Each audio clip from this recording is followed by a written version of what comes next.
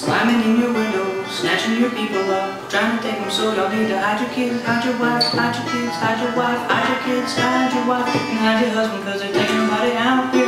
You don't have to turn yourself in.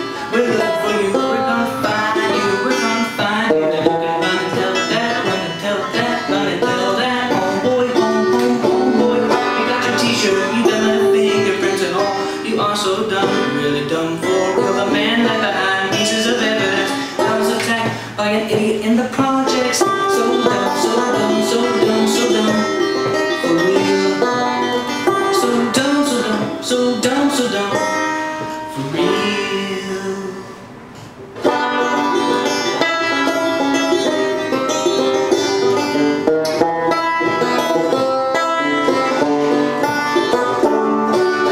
Man, left behind pieces of feather and stones attacked by an idiot in the project.